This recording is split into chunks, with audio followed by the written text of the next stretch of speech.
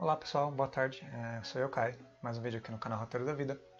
O vídeo de hoje, eu sempre falo isso, é uma, não, na verdade é um ficção em debate, é sobre a série Suits, né, eu falei que ia fazer.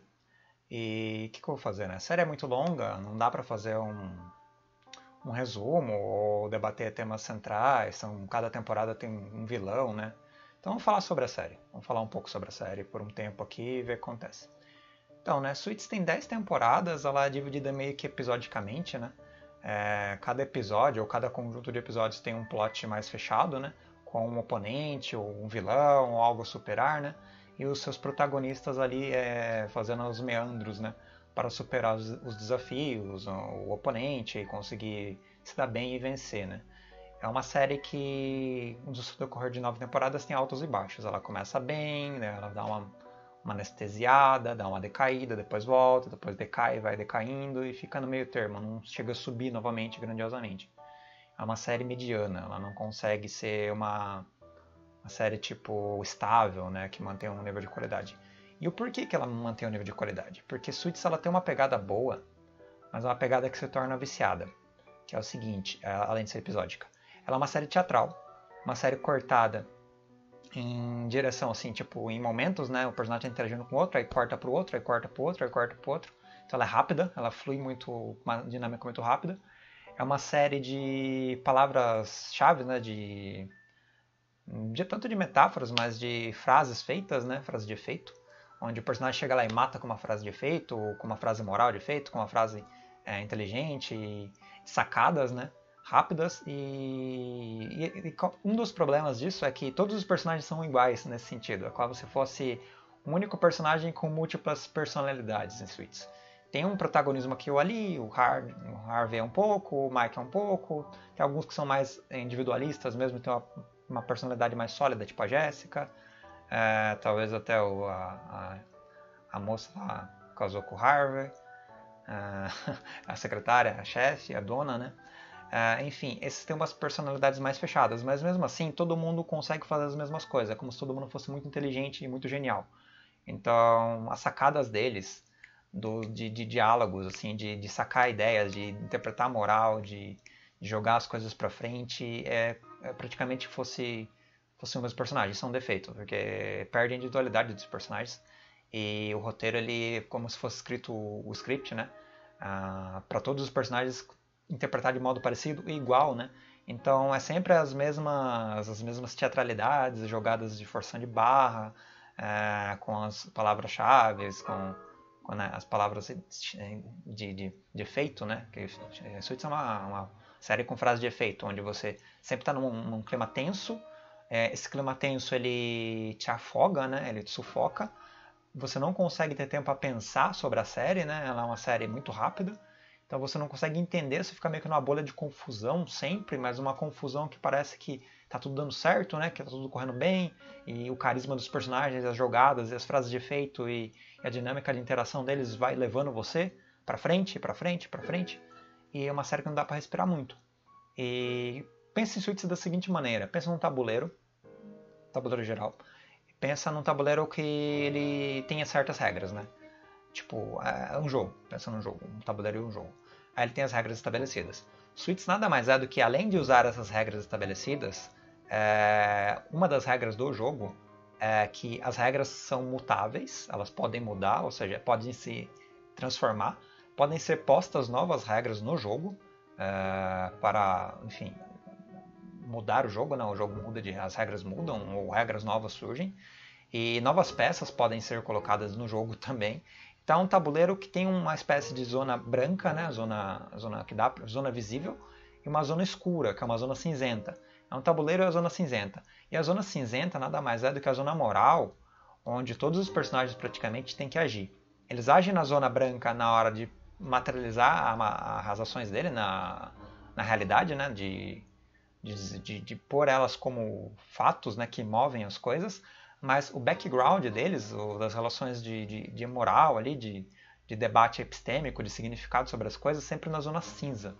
Então, a lei é aquilo que eles defendem, né, que são uma série de advogados, né, obviamente, aí é o que eles defendem, que é a coisa que é posta em prática, mas ela sempre está é, nessa dinâmica de um jogo onde novas peças surgem, novos quadradinhos no tabuleiro surgem, alguns desaparecem, é, e uma zona cinza meio que empurra as regras do jogo tempo inteiro. E é blefe, é blefe em cima de blefe, é, é um jogo de poker com tabuleiro. É uma série assim, tá? principalmente os personagens, todos os advogados jogam assim. É constante. É por isso também que eles têm personalidades praticamente iguais, ou pelo menos inteligência iguais, níveis equivalentes de, de sacadas e de genialidade sobre o domínio do direito, então por isso que eles parecem uma única pessoa, um único personagem, é, em vários momentos diferentes, fazendo funcionar as coisas, né? fazendo ir para frente. Isso é tão bom quanto ruim. Como eu falei, isso vicia, a série fica cansativa, os cortes de direção ficam desgastados, né? É, a velocidade da série fica desgastada. E aquilo que é genial é tipo um tabuleiro montado que tem um storyboard na série, né? Cada episódio tem um storyboard, né? Tipo, ah, o, as causas, os efeitos, as possibilidades de reação para determinadas situações e é sempre um contra-ataque em cima de um contra-ataque, uma contra-estratégia contra outra contra-estratégia. O tabuleiro vai mudando, vai mudando as regras, aí volta a zona cinza, a zona cinza cria novas regras, essas novas regras são absorvidas às vezes pela zona branca, voltam, são visíveis, regras visíveis, às vezes elas ficam só na zona cinza. E, ou seja, suítes tem muita trapaça, tem muita chantagem, tem muita é, pressão emo emocional. Os personagens ele tem N emoções, ganância, fragilidades N, é, situações familiares, amigos, passado negro. Então tem sempre uma forçação de barra, um, um deus ex-máquina às vezes, com grande frequência às vezes, onde você pega uma, um background do personagem, pega lá que ele fez tal coisa em tal década, e tá queimado por causa disso. Às rastrear com quem ele fez, aí pega esse cara e rastreia esse cara, pega depoimento desse cara e joga na cara do outro para fazer pressão. É sempre essa dinâmica de, de, de ataque constante, né? De, de jogo de blefs, né? Então é um tabuleiro de poker, é um tabuleiro que também tem ali tem as peças, tem as possibilidades de movimento das peças. Cada personagem tem as suas possibilidades de movimento tem as regras que se mudam e modificam a possibilidade de movimento das peças e possibilidade de vitória ou derrota do tabuleiro, ou seja, as regras também são mutáveis, tanto as que existem quanto as novas que são criadas, como Ex Machina ou não, para fazer fluir o cenário. E tudo isso pautado nessa grande, nesse grande jogo de blefs, nesse jogo de, de, de, de apostas, charadas. E o roteiro é, se você for levar assim, é, a, a, de maneira mais só essa parte do roteiro, nessa parte sólida de estratégias. É muito interessante o Suits nessa parte, porque, nossa, como que vocês conseguem fazer essas dinâmicas, né? Eu gosto mais de House, porque House é um pouco mais personagem mesmo. O Suits ele perde essa linha. House também tem as mesmas sacadas que Suits, nesse sentido de ficar meio porra louca as coisas, né? Mas, enfim, Suits é isso. É, Suits é sempre esses insights essas coisas rápidas, né? E a gente não conhece a advocacia, então a gente fica meio que na nuvem ali. Tem coisas que dá a perceber, né? As jogadas corporacionais, eles vão defender uma corporação, aí fazem um esqueminha ali para, ah, sei lá, a corporação tem uma, uma, um código de regras de conduta, aí vai lá e analisa, aí vem o Mike, Deus Ex Machina, joga lá, ah, eu li tal linha, tal linha, tal linha, a interpretação para fazer isso é, pode ser distorcida de tal modo, então a gente consegue usar isso como ferramenta para pressionar o oponente ou vencer o jogo ou ganhar vantagem, essas coisas. E é sempre assim, é, numa, é num acúmulo de pequenas jogadas menores que dão num plot maior que é a vitória. Que, que pode ser a vitória do episódio, a vitória do, do grupo de episódios, ou a vitória do, do, da, série, da temporada inteira. Ou um, dos, um personagem brigando com o outro, é, tanto em regra jurídica quanto em regra moral, principalmente regra, regra de empatia, de condutas e emoções, enfim. Suítes é isso, Suítes é essa bagunça, Suítes é bem confuso. É, se você for analisar assim. É, não, se você for analisar calmamente, você entende, mas se você deixar se absorver pela série, ela se torna. Ela vai te empurrando. Ela vai te empurrando e não tá nem aí. É, e isso é um problema às vezes. É, um, é cansativo. Às vezes você abandona, você dropa a série e fala, pô, tá enchendo o saco, porque a série faz isso o tempo inteiro. É do começo ao fim. Ela é, embora no início fosse um pouco menos forçado, com o tempo eles vão tendo que criar novas estratégias mais originais para manter a dinâmica do cenário, né, da série. E fica meio forçado, porque, nossa, é o tempo inteiro isso de, usar as mesmas ferramentas de roteiro para dar uns, uns, trancos, né? E a série para frente, os personagens conseguirem resolver os conflitos e resolver as charadas e ganhar o caso do dia ou o caso do, da temporada, né? E vencer os oponentes. Mas é isso, Suits é isso. Suits é um tabuleiro de blefs com zonas cinzentas e regras mutáveis e regras que são estabelecidas e peças que vêm para o tabuleiro e peças que saem do tabuleiro. E tem personagens mais legais, assim, o Harvey é legal, a Jessica é legal, a Jessica sai depois. Os que substituem não são tão bons, então tem toda uma transição de personagens. Os vilões também, conforme a série vai passando, ficam mais chatos, perdem o peso, né? Uh, tem personagem que não teve como aproveitar é mal aproveitado ali também. Tem personagem que perde meio que a função ali também no meio da série, tipo a Katrina, que fica meio largada ali, sendo bobinha o tempo inteiro. Aí tem as mesmas sacadas com.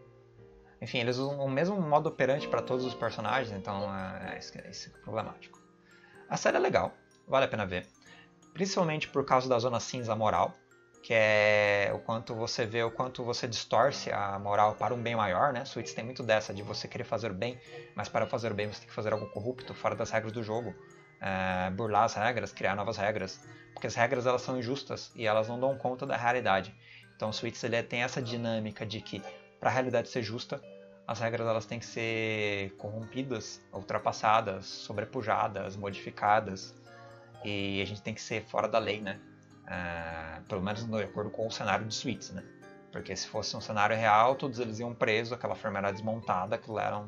Porque não dá, embora isso aconteça na realidade, não dá pra dizer que não acontece, mas ah, se você for levar as regras do jogo como absoluta, aquilo ali já desmontava na primeira temporada já. Porque já tá tudo errado, entendeu? Mas como eles têm todo esse macete de correr por fora, né? De fazer toda a manipulação para que ficar no equilíbrio, né? Bem na, bem na, na, na corda bamba, né?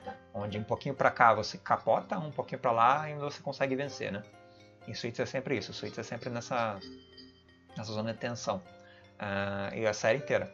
A série inteira você está nessa tensão, eles quebrando regras para fazer ou fazendo novas regras para moldar a justiça do cenário, né? Tem jogos de interesse, tem jogo de, de ética de cada personagem, tem jogos de ego, jogos de emoção, jogo de, interesses profissionais, interesses amorosos, interesses financeiros, N coisas, N coisas. Suites tem tudo isso, é, é um prato cheio e isso é a parte que brilha na série, por isso que você é boa e vale a pena ser vista, mesmo sendo tem alguns problemas, né? Como eu falei, é, essa, essa dinâmica que vai se repetindo.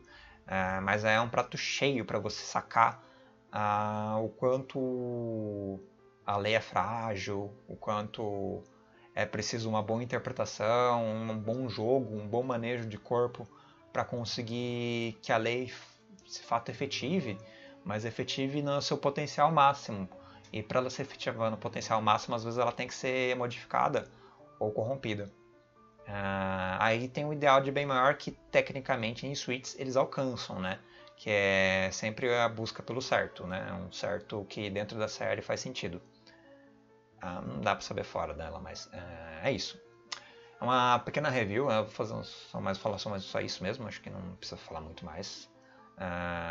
Vejam a série, dá, dá pra vocês dar uma olhada no, no visual da série, passar umas fotos para vocês. Passar as fotos no fim do vídeo, coisa que é bizarra, mas. Ah, dá uma olhada aí no. A série é um pouco elitista, né? Terninho e tal, sempre corporação e sempre gente rica fazendo coisas de gente rica. Mas uh... é, é isso que tem para hoje na série, a ideia é essa. Mas é legal, assim, tirando toda essa pompa, né, dessa um pouco snob. é um pouco snob. Tem dinheiro pra lá e pra cá voando que nem a rodo, assim, tipo, dá um pouco de raiva às vezes. Ah, é defesa corporacional, é só empresário e gente com poder, né? E briga de poder de alto escalão. Mas é isso. Obrigado por me ouvirem. Até um próximo review de uma próxima série, um anime. Vou fazer de Fire também. Espero que vocês sim, gostassem, tenham gostado disso, que vejam a série se não, vi, se não viram ainda. Se já viram, comentem o que vocês acharam dela, né? Porque acabou. E nove anos vendo isso. É, nove temporadas. É um bom trajeto. As coisas que fazem parte da vida, né? Influenciam na nossa, na nossa, na nosso cotidiano. A gente, a gente é, é constituído pelas coisas que a gente consome, né? Mas obrigado aí, pessoal. Até mais.